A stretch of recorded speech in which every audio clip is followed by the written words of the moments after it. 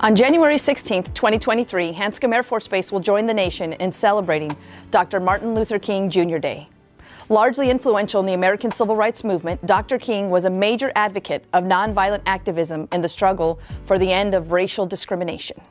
MLK Day, observed on the third Monday of January each year around the time of Dr. King's birthday, has a national recurring theme of remember, celebrate, act, a day on, not a day off. It calls upon the American people to engage in public service and promote peaceful social change.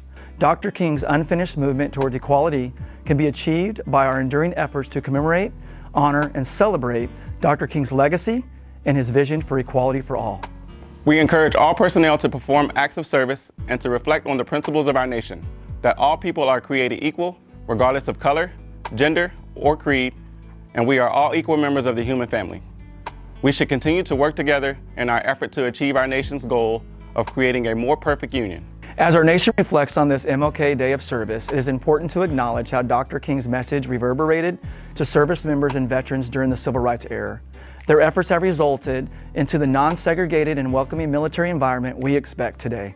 Just as in Dr. King's time, there are those who now say that change will be too disruptive and that these urgent needs can wait.